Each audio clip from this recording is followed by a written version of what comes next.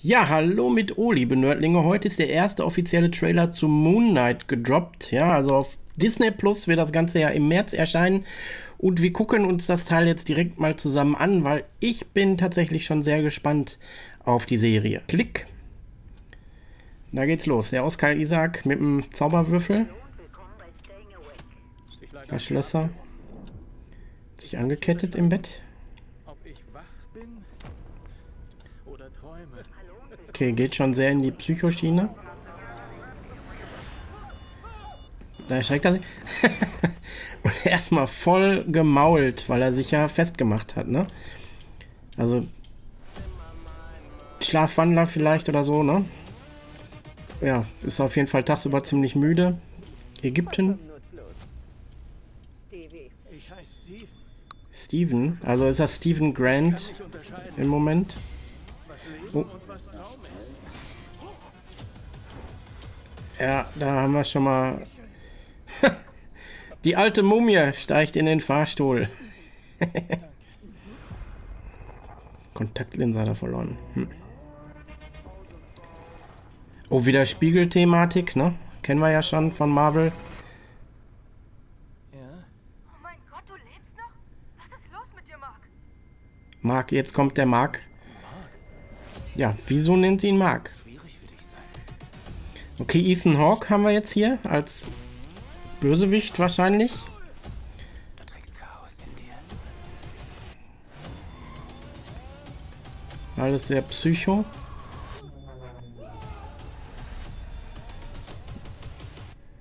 Akzeptiere das Chaos. Oh, da kommt das Kostüm. Und das ist kein Mensch, wenn wir das so richtig sehen, was er da verprügelt gerade. Okay. Ab dem 30. März. da ist er nochmal übers Dach gesprungen. Ja, nice. Ähm, und wie üblich startet das Ganze natürlich einfach wieder, wenn wir hier loslegen. So, ähm, ich fand es jetzt auf jeden Fall schon mal sehr interessant. Ich meine, wer Moon Knight jetzt vielleicht noch nicht kennt, was äh, durchaus natürlich möglich ist, weil er ja im MCU bisher noch gar nicht aufgetaucht ist. Bisher hatten alle Figuren außer Serie mh, hm, ja schon mal irgendwas mit dem MCU zu tun. Ne? Die haben dann zwar auch neue Figuren eingeführt, aber die Hauptfiguren, ja, wir hatten also WandaVision, die kennt man natürlich aus den Avengers. Wir hatten den Falcon und den Winter Soldier, die bekannt waren. Wir haben Loki gehabt und jetzt zuletzt natürlich auch Hawkeye. Ne? Die Hauptfiguren waren also immer wieder irgendwelche Leute, die schon im MCU waren. Bei Moon Knight ist das halt noch nicht der Fall gewesen. So, Moon Knight gibt es zum Glück auch einiges hier in Deutschland. Ja, da gab es ein paar großartige Runs, die zum Beispiel Jeff Lemire geschrieben hat. Ja, und da geht es halt um diese Psychothematik, ja, weil Moon Knight oder eigentlich Mark Spector, ähm, wir haben ja jetzt erfahren, dass er Steven heißt, ja, oder Stevie hat ihn genannt. Ähm, wird wahrscheinlich dann also Steven Grant sein. Der hat verschiedene Persönlichkeiten, also drei quasi. Ähm, ne, er ist äh, einmal Mark Spector, er ist Stephen Grant. Stephen Grant ist dabei eigentlich äh, so ein, so ein Bruce Wayne Millionär Schauspielertyp. Ähm, das ist jetzt hier nicht so gegeben, wenn er irgendwo in einem Museum arbeitet. Ähm, aber vielleicht entwickelt sich das Ganze ja noch, weil der nämlich eigentlich für die Finanzen zuständig ist bei dem ganzen Thema. Und Max Spector ist, ist die ursprüngliche Persönlichkeit des Kollegen. Und äh, der ist halt ein ausgebildeter Söldner, ja, der hat in Spezialeinheiten gedient und ist halt komplett durchgeknallt. Ja, der ist also der ist tatsächlich verrückt. Und damit spielt halt die Moon Knight-Geschichte immer so ein bisschen, weil man nicht immer so weiß, was ist denn da jetzt real, ne? Weil Moon Knight ist, äh, ja, der wird gefördert oder unterstützt von dem ägyptischen Gott Khonshu. Das ist der Mondgott. Äh, und ähm, als Max Spector mal in Ägypten war und da übel zugerichtet wurde, ja, da hat dann quasi Konshu dann auch mal die Kontrolle übernommen und hat ihn zu Moon Knight gemacht. Daher auch dieses übernatürliche Kostüm, ja, was da ähm, auftaucht. Er zieht sich das hier nicht an. Eigentlich zieht er sich das schon an, ähm, aber die haben das jetzt halt nochmal so ein bisschen aufgepimpt fürs, äh, für die Serie. Ich denke mal, das wird an der einen oder anderen Stelle wahrscheinlich zu Kritik führen. Mich stört es jetzt persönlich nicht so sehr. Ähm, ja, aber ich, ich meine, wir, wir können ja mal ein bisschen durchklicken. Also wir haben auf jeden Fall äh, Stephen Grant hier, der in seinem Apartment liegt und nicht schlafen kann und dann halt auch diese Hotline dort anruft. Ne, ähm, ja, der, der macht sich halt fest, weil er halt nicht weiß, was er so nachts macht. Ja, der hat sich dann quasi mit irgendeinem so Seil am, am Bett festgebunden und fällt dann dementsprechend auch hin. Was wir beobachten können, ist, dass er also wenn es zusammenhängende Szenen sind, ja, und das dann wirklich darauf folgt, er trägt halt, wenn er dann, also er liegt jetzt im Bett, hat ein weißes Hemd an und spielt mit dem Würfel und äh, wenn er dann wach wird, bin ich jetzt an der Szene schon vorbei? Ne, warte mal, da, da spricht er immer noch mit der Hotline. So, und da wird er jetzt wach, will raus und äh, trägt dunkle Klamotten. Ja, während er sich da mault. Ja, das heißt, da, da kommt dann eben diese Psychenthematik auch schon mal mit rein, weil er dann halt auch vielleicht seine Persönlichkeit gewechselt hat nachts. Ja, weil er dann auch vielleicht mal als Moon Knight unterwegs war und sich da aber nicht dran erinnern kann, weil er da noch nicht so weit ist und die Persönlichkeiten voneinander getrennt sind. Ähm, er hat übrigens auch noch eine dritte Persönlichkeit. Wäre schön, wenn die auch noch auftauchen würde. Ähm, das ist nämlich Jake Lockley. Ja, da ist er als Taxifahrer quasi immer unterwegs und hat einen fetten Schnäuzer. ja, das ist so seine, seine Agro. Es ist quasi, kann man vielleicht mit Joe Fixit von Hulk vergleichen. Ne? Ähm, da ist er dann nämlich auch mit unterwegs und äh, ja, ist dann ist es halt so für Ermittlungen und um Informationen zu beschaffen, weil er da halt auf einer anderen Ebene irgendwie unterwegs ist. Marvel Studios Logo. Und äh, wir sehen schon mal, der hat halt auch ähm, ist da in, ich, ich tippe mal auf London mit den Doppeldeckerbussen dort. Ich weiß jetzt nicht, wie es von, von oben aussieht, weiß auch nicht so genau. Ähm, er ist auf jeden Fall, hat er Probleme mit, äh, mit dem Schlaf, ne? deswegen ja auch die Hotline und hier geht er zu einem Museum, wo eine ägyptische Ausstellung ist. Vielleicht bringen sie so seine Origin dann da mit rein, dass er im, im Museum dann wirklich tatsächlich äh, zu Moon Knight wird. Aber vielleicht zieht es ihn da auch anderweitig hin. Das ist jetzt natürlich nur eine ganz äh, schlimme Vermutung. Was haben wir denn da? Puzzle oder was? ja, das sieht aus wie Puzzle. Tausend Teile. Interesting. Ähm, weil er ja halt auch eine sehr verstreute Persönlichkeit hat. Von daher passt das schon. Ich mach mal hier mein Mikro ein bisschen runter. Und äh, da ist ein Lager. Und da haben wir halt auch schon wieder diese Szene mit dem Spiegel gehabt, ja, wo er sich, äh, obwohl erstmal haben wir die hier. Ich weiß nicht, ob ich das jetzt schon verpasst habe. Wir klicken das mal durch. Hier ähm, ist er da auf jeden Fall im Spiegel und sieht dann quasi gleich die, die leuchtenden Augen. Na, kriege ich die hier? Na, kriege ich jetzt natürlich nicht rein. Muss ich mal eben kurz laufen lassen, glaube ich. So. Ah, da war einmal dieses Aufblitzen von dem Moonlight-Kostüm. Da hat er wohl ein bisschen äh, was an Erinnerungen reinbekommen. Und ähm, weiß natürlich überhaupt nicht, was los ist. Da haben wir dieses, dieses Gerät. Ich weiß nicht, ob das jetzt eine Mumie ist oder ob das Konshu ist, ja, dieser ägyptische Gott. Äh, das, das wird sich dann zeigen. Das konnte man jetzt nicht genau erkennen. Das kann natürlich auch das Vieh sein, wo er dann hinterher drauf rumkloppt dass er ihm da die Bandagen weggeprügelt hat. Ja, also spielt auf jeden Fall sehr mit dieser Psychoschiene. Ich bin sehr gespannt. Was haben wir denn da? Irgendwie was Interessantes? Ne, sieht jetzt nicht so aus.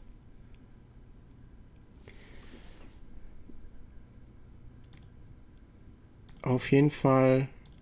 Äh, das ist meine Befürchtung, ist halt ein bisschen, dass das so den, den Mainstream-User oder den Mainstream-Gucker ein bisschen abschrecken könnte, weil es halt wirklich sehr mit der Thematik spielt, ist er dieser Superheld, ja? Also ist ein sehr brutaler Superheld auch, wie man ja in der einen Szene dann auch gleich sieht. Ähm, oder bildet er sich das alles nur ein? Und da bietet die ganze Sache natürlich viel Potenzial, aber ob es dann was für die Leute ist, die dann so ein bisschen Haut drauf auf Haut drauf Action erwarten, müssen wir dann mal sehen. Also ich verspreche mir schon viel davon. Hier haben wir jetzt die Szene mit dem Spiegel, wo er dann weitergeht und das Spiegelbild dann quasi stehen bleibt. Was ja äh, auch sehr häufig bei äh, Marvel auftaucht. Ne? Wir haben das beim Hulk auch, wo dann eben die verschiedenen Persönlichkeiten damit auch dargestellt werden, ne? weil der Hulk dann sich dann im Spiegel befindet, wenn Banner sich draußen befindet und hier haben wir das dann halt auch, dass dann halt seine, seine gespaltene oder seine multiple Persönlichkeit da irgendwie zu sehen ist. So, und da findet er nochmal was, ähm, das Handy halt auch von Mark Spector. Ja, das hat er dann da wohl versteckt und äh, bekommt halt diesen Anruf, wo er dann erfährt, äh, dass er Mark ist und erstmal gar nicht weiß, was da los ist. Ich meine, ein großes Apartment hat er auf jeden Fall. So, äh, und weiß, weiß überhaupt nicht, was abgeht, ne? So, und dann taucht hier der Bösewicht auf. Ich, es steht noch nirgendwo, wer das sein soll. Vielleicht gibt es Gerüchte. Ähm, ich habe noch nichts dazu gelesen. Bei IMDb ähm, hat Ethan Hawke jedenfalls noch keinen Namen. Wenn ich mir das so angucke, die Leute beten ihn an, könnte ich mir vorstellen, dass er Amon Ra ist, also der Sonnengott oder die, die aktuelle Inkarnation des Sonnengottes. Die ist nämlich in einem Run auch der Gegner von, oder zunächst der Gegner von äh, Mark Spector. Ja, der hat eine ähnliche Geschichte. Der ist dann halt eben vom Sonnengott besessen, der gegen den Mond Mondgott immer wieder kämpft. Ne? Das ist halt auch so eine wiederholende Geschichte, die sich dann äh, immer wieder wiederholt. Und äh, die reinkarnieren dann halt immer so abwechselnd und tauchen, treten dann irgendwann gegeneinander an. Äh, könnte jetzt natürlich sein, ne? weil er schon Leute um sich schart, der hat lange Haare. Äh, das, also wirkt auf jeden Fall schon mal sehr wie ein Sektenführer und Amon Ra hat das halt auch gemacht in dem Run. Von daher könnte ich mir das schon sehr gut vorstellen, dass er das ist. Der kann dann auch so mit Feuerbällen und so. Äh, ich bin sehr gespannt. Der ist aber, wenn ich das hier so sehe, ist der da auch irgendwo in, in, in Deutschland oder Österreich, ne? Wenn wir hier, hier stehen deutsche Sachen, Bäckerei, Konditorei, Gasthof, Restaurant haben wir hier. Und naja, gut, hier haben wir dann halt die Klischee-Lederhosen auch mit dabei. Interessant. Äh, vielleicht ist er natürlich auch nur in so einem deutschen Dorf unterwegs, aber äh, wenn, wenn Moonlight sich in, in England befindet und er da irgendwie unterwegs ist, könnte das natürlich schon was ziemlich Internationales werden. Bin sehr gespannt. So, dann kommen wir jetzt nochmal, ja gut, da sprechen sie miteinander, weil der Typ, der Ra äh, verkörpert, der hat halt eine ähnliche Geschichte, der ist auch durchgeknallt, der war auch Soldat. Ich weiß nicht, wie sie das machen. Bin gespannt. Auf jeden Fall hier äh, ist er wohl mal wieder zwischendurch Mark Spector gewesen. Da geht's rund. Haben wir natürlich immer wieder dieses ägyptische Motiv mit dabei. Da, vielleicht ähm, stammt das dann aus so einer Rückblende. Hier haben wir, äh, jetzt komme ich wieder nicht genau auf die Szene. Da haben wir auch die Halbmondsichel. Na, das ist ja halt auch das Symbol von, von Moon Knight. Auf jeden Fall sehr interessant. So, und hier kommt jetzt das Kostüm. Das lasse ich einmal ganz kurz nochmal laufen. Ja. Und da drischt er auf irgendwas ein, was auf jeden Fall kein Mensch ist. Ich bin sehr gespannt. Und also, es sieht schon cool aus. Also ich, es, es hat was. Ich bin auf jeden Fall sehr gespannt. Also ihr könnt ja mal in die Kommentare schreiben, was ihr so für Vermutungen habt und ob ihr Moonlight überhaupt kennt. Ne, ähm, weil wie gesagt, er ist halt ein Charakter, der so noch nicht aufgetaucht ist in den Filmen irgendwie. Und von daher ist das schon so ein bisschen so ein Experiment, was sie da machen. Und es ist die Frage, in welche Richtung es dann tatsächlich geht. Also ich würde mich auf jeden Fall freuen, wenn das Ganze richtig auch Action bietet. Ne, es darf natürlich auch äh, die Psychonummer bringen, ähm, weil das halt auch wirklich ein wichtiger Part von Moon Knight ist. Ne, weil der ist halt quasi ein durchgeknallter Batman. Ne, äh, damit kann man es, glaube ich, ganz gut vergleichen. Ne, weil der hat auf, ein, auf der einen Seite halt diesen, diesen Millionär, der ist aber eine andere Persönlichkeit von ihm. Dann ist es halt der ausgebildete Söldner, ja, und plus dann halt nochmal der Ermittler irgendwie. Und das ist halt so die Persönlichkeit von Bruce Wayne nochmal aufgespalten in, in verschiedene und er kann die halt nicht gleichzeitig benutzen. Äh, und von daher finde ich das, wird das auf jeden Fall eine interessante Sache. Aber die Action darf nicht zu kurz kommen. Aber wenn ich mir das angucke, äh, wird das auf jeden Fall der Fall sein, dass da genug Action auch zu sehen sein wird. Von daher finde ich das schon vielversprechend, was da passiert. Und am 30. März werden wir dann mehr sehen.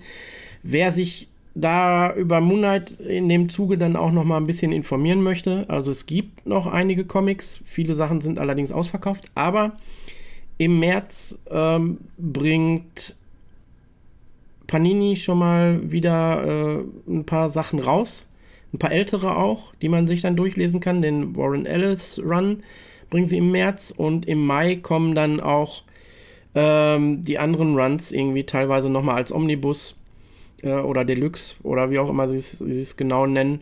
Ähm, ja, da kommen auch nochmal drei dicke Sachen und ich glaube, die neue aktuelle Reihe, die startet dann auch. Also von daher werdet ihr im Umfeld der Serie auch einiges an Material bekommen können, wenn euch Moonlight gefällt und die Thematik auch oder ihr euch einfach da nochmal ein bisschen einlesen wollt. Also äh, dafür ist gesorgt, da steigt Panini richtig gut drauf ein. Hoffen wir mal, dass äh, das mit der Devil auch so weitergeht. Ähm, ich freue mich drauf auf die Serie. Schreibt mir in die Kommentare, ob ihr euch drauf freut. Und ansonsten wisst ihr, wenn es euch gefallen hat, Abo dalassen. Ein Daumen ist natürlich auch gerne gesehen neben den Kommentaren. Und ansonsten sehen wir uns beim nächsten Mal. Bis dahin. Ciao.